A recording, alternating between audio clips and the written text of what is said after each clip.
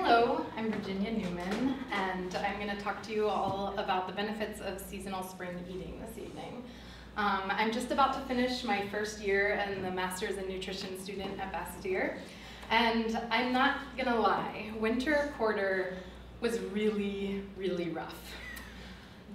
Um, some of the students are laughing. um, I tried my best to eat my ideals, and what I mean by that is that as a nutrition student, I truly do believe that our food choices are our best preventative medicine. But more often than not, the powers of winter combined with stress eating found, found me mindlessly shoving pizza into my face, whether I was in front of my computer, in front of my books, or even driving in the car. So one evening, towards the end of the quarter, I was cooking on autopilot. I was simply going through the motions. And I reached for a storage onion and, and I pulled this out. And, and I had a little moment. I mean, it was kind of a big moment because I took a picture of it. this is the onion. And I thought, it's spring. It's spring, and this storage onion is using all of its stored energy try and procreate right here in my kitchen. and this dynamic little onion prompted me to turn my autopilot off. And I continued to cook and then eat that meal with a mindfulness and an intention that I hadn't felt for a while. So eating with the seasons has a way of pulling us face first into our plate and reminding, of, reminding us of a time and a space that's always here but that we may not notice in our day-to-day -day busyness. It reminds us to slow down, to actually chew our food, which you would be surprised at the amount of digestive disorders could be relieved by this one simple tidbit, chewing. It's the first step of the digestive process. So in the wintertime, it's perfectly natural to crave heartier, heavier foods like pizza, root vegetable stews, meats if that's your thing. Um, before modern conveniences like heat, this was a survival strategy. So we're essentially biologically primed for it. And then as the seasons change, lighter foods begin to emerge from the ground. Asparagus got its own slide because I just love to watch it grow. And it can grow up to 10 inches in one day. So mindful eating, I discussed the benefits of seasonal eating. It can sort of center us and remind us of the space and time we're in. Um, and also, nature offers us just the right things at the right time. So see, spring produce is packed with remedies to help us clear out winter stagnation, to detoxify, and to invigorate. So asparagus can help uh, reduce phlegm and mucus in the lungs, it's a diuretic and a natural laxative, so that'll help clean us out.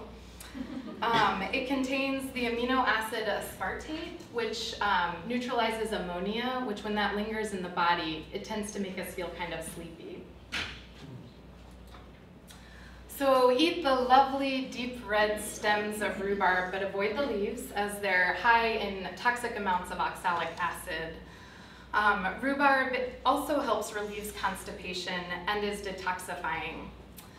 So these crazy looking things over here are called garlic scapes. They're the flowering portion of the garlic plants and they're available a couple of months before cured garlic is ready. They offer us uh, similar nutritional benefits to garlic. They help to stimulate our metabolism, eliminate toxins from the body, and they support our immunity. I personally first fell in love with the radish when I realized how quickly and easily they grow. Radishes are a diuretic, they're a stimulant and a digestive aid, and they also can help cleanse sinus congestion. So if you head to the farmer's market in the early winter, um, or that winter we've moved on, in the early spring months, you'll find a sea of a variety of different colors of green which is perfect because greens offer a light complement to the heavy foods that we've been eating all winter. They are also amazing detoxifiers. Greens offer us the nutrients to help support our own organs of detoxification, like the lungs and the liver.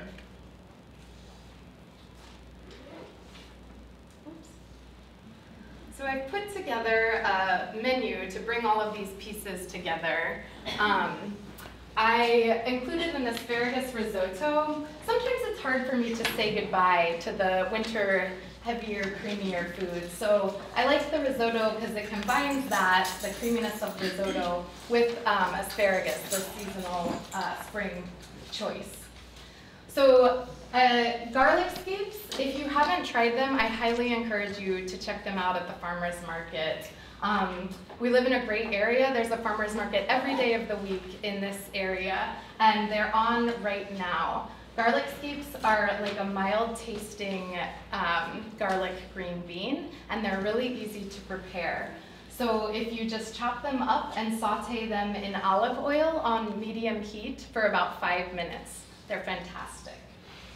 Roasted radishes, if you've never had a roasted radish, I encourage you to try that. It cuts the spiciness a little bit and it brings out, it can bring out the sweetness.